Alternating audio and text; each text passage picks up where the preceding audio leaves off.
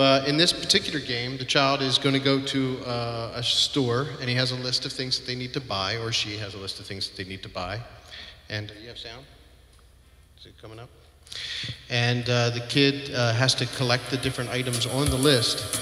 And when they're done, they go to the checkout counter. And if they've done a good job of selecting items that are not only on the list but are of a good price, good value, then they win that level and they get uh, coins for their virtual currency bank. Now, the thing that's interesting about Little Kitten is, is that it's a free game. People can download it for free. And we monetize the pathway to the parent. So at the time when the app is first launched, we solicit the email address.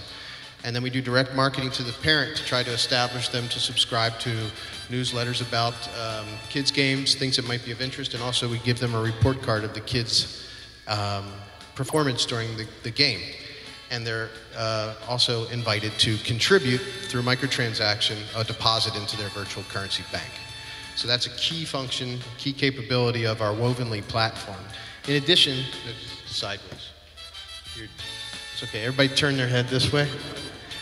Uh, in addition to um, in addition to just providing um, a marketing pathway and virtual currency deposits into the game, Wovenly has the ability to do audience acceleration through social media acceleration. We have conduits to Facebook, MMS, Twitter, G+, almost everything, anything we can build, and of course email.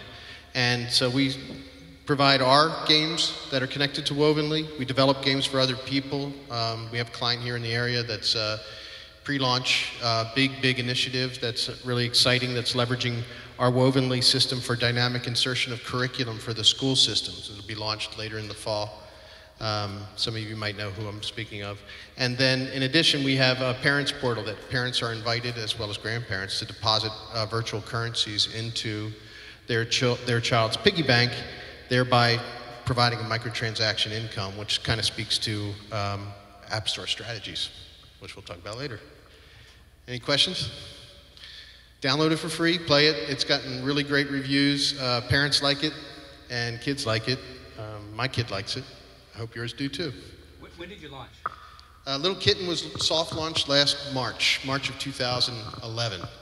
And uh, it was soft launched with a limited number of, um, of levels. And I went out and I tried to pitch it to publishers, didn't get any interest. So I self published. And so it, it uh, launched with all levels in December and we uh, relaunched it again publicly at GDC, along with another game called Christopher the Hamster, which is another one of the titles. Okay. And, and self-publishing is very hard. Thank you.